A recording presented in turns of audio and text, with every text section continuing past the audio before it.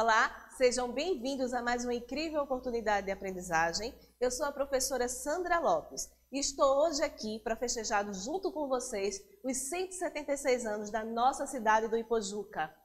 Ipojuca, sua história, seus valores. E com, o que, é que iremos debater nessa aula, professora?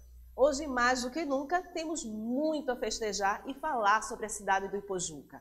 Precisamos compreender a história da cidade do Ipojuca com base na identificação de mudanças e permanências ao longo do seu tempo. Vocês já procuraram saber a história do Ipojuca? Como nasceu Ipojuca?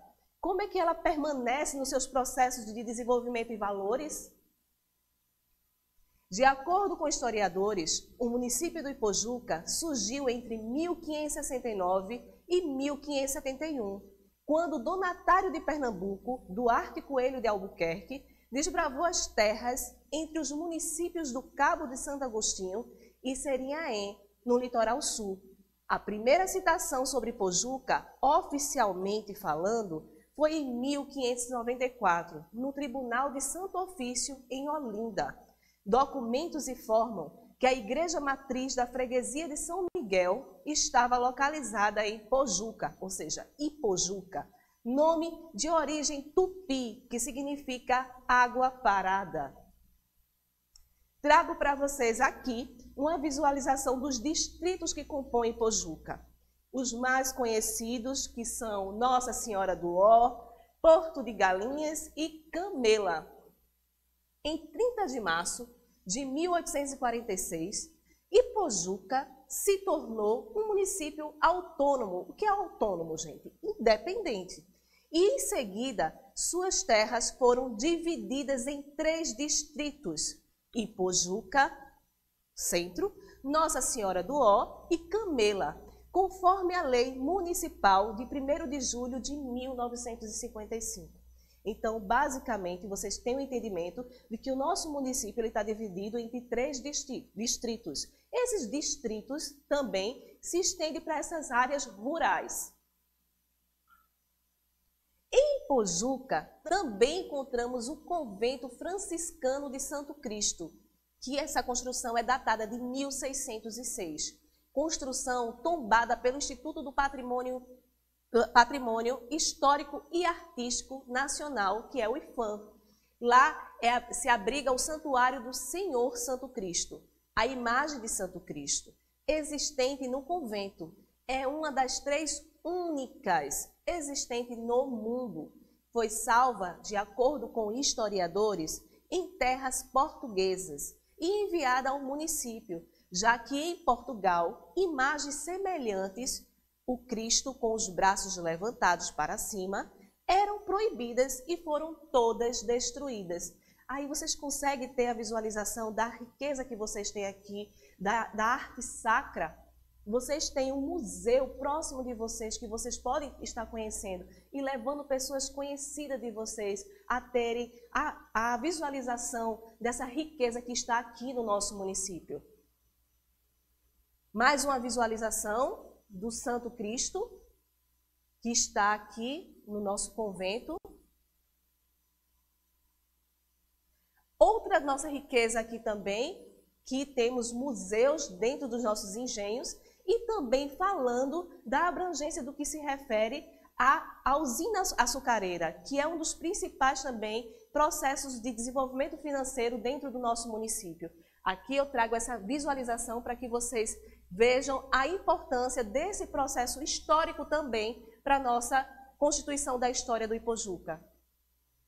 Dentro também do Ipojuca, temos o nosso desenvolvimento industrial, que é o complexo de Suape.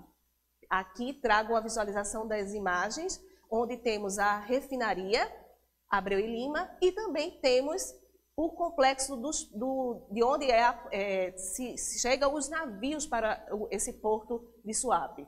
O complexo industrial de Suape, o portuário de Suape, é um dos maiores projetos de desenvolvimento da economia do país. O empreendimento oferece oportunidades em diversos setores, atraindo investimentos e gerando renda para os seus trabalhadores, que se orgulham em construir uma nova história para Pernambuco. Então, falando aqui para vocês que Pojuca tem a tradição das usinas açucareiras, onde foi seu processo inicial de expansão. Hoje também, atrelado ao desenvolvimento financeiro, a expansão industrial, que está aqui ao nosso lado, no Porto de Suape, e que traz esse olhar de desenvolvimento para o nosso município. E também, é claro, não deixando de falar a questão da riqueza o quê? do nosso olhar turístico da nossa cidade, que é a nossa praia de Porto de Galinhas, conhecida mundialmente e que atrai todos os dias milhares de pessoas para esse lugar maravilhoso que eu trago aqui para vocês vislumbrar. O desafio de hoje, diante de tudo que visualizamos hoje aqui rapidamente, nessa abordagem do que compõe o nosso município de Ipojuca, hoje, dia 30 de março, a cidade do Ipojuca comemora a sua emancipação política. Olhando aqui para a professora, você sabe o que é emancipação política? Falamos aqui do todo que compõe Ipojuca, do seu desenvolvimento, do seu surgimento, do que atrai hoje na questão de desenvolvimento social, e profissional dentro do nosso município, mas estamos visualizando a questão da emancipação, da, do festejo que atrela a comemorar o aniversário da nossa cidade. E o que é emancipação política? Você já procurou saber? Trazendo essa informação aqui para vocês, para que vocês tenham um conhecimento mais amplo o local que se emancipa adquire autonomia no âmbito político e social.